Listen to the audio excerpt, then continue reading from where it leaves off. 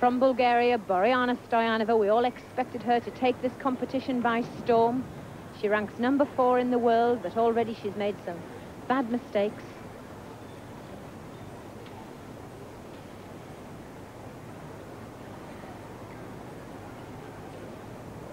Oh, very cleverly disguised wobble, which could have been a fall.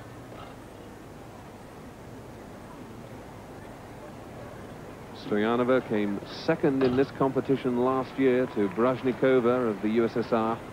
If she's to go one better, as I think everyone did expect her to, she really must make up a lot of ground on, on this piece. She can't afford to leave it all to the floor.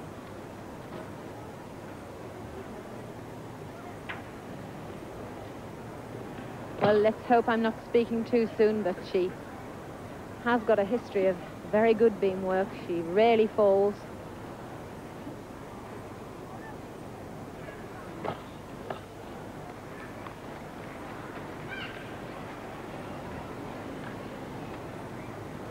Course, all these gymnasts building up to the Olympics, the end of July, and maybe she's holding herself back, making sure that she peaks at the right time. But that a better exercise and a good double tuck back somersault to finish with.